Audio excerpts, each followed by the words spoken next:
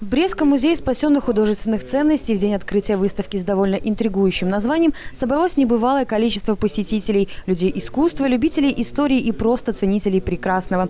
Догадаться, чем вызван повышенный интерес публики, стало просто, лишь побывав в зале экспозиции. Здесь царила какая-то особенная завораживающая атмосфера. И все потому, что каждая из работ в буквальном смысле – шедевр мастера фотографии небезызвестного Анджея Новаковского.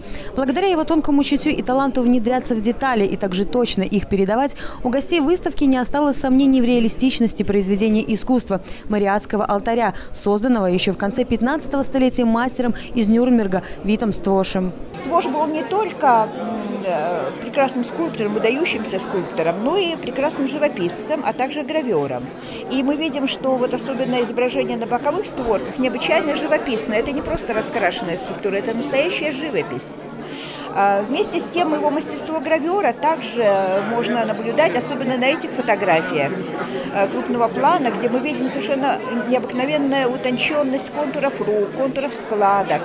Но все же прежде всего это произведение гениального скульптора, настолько мощное, монументальное, величественное, что является как бы отражением э, истории человечества. Познакомиться с этой страничкой истории человечества стало возможным для брещан благодаря выставке Анджея Новаковского. Будучи отдаленными от алтаря расстоянием, горожане в полной мере смогли восхититься его величием, масштабом и размахом. Все потому, что автор исследовал творение Вита Ствоша методично, внимательно, скульптура за скульптурой, следя за чертами лиц, складками на материалах облачений, взглядами, жестами и даже формой ногтей. Такая детальная, скрупулезная работа фотографа привела к впечатляющему результату. Она дает возможности увидеть то, что невозможно увидеть простому прихожанину, гостю, туристы, туристу, который стоит на земле.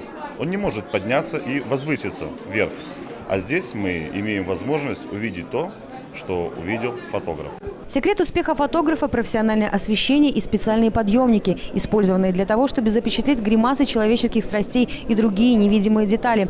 Произведение искусства в реальности имеет размер 13 метров в высоту, 11 метров в ширину и является самым большим из средневековых алтарей в Европе. Монументальный эффект усиливается благодаря цифровой обработке изображений, обращению к современным технологиям печати. Для Бреста выставка, безусловно, значимая, потому что э, Марианский костел в Кракове и его алтарь входят во всемирное наследие ЮНЕСКО, вот, является мировой исторической достопримечательностью.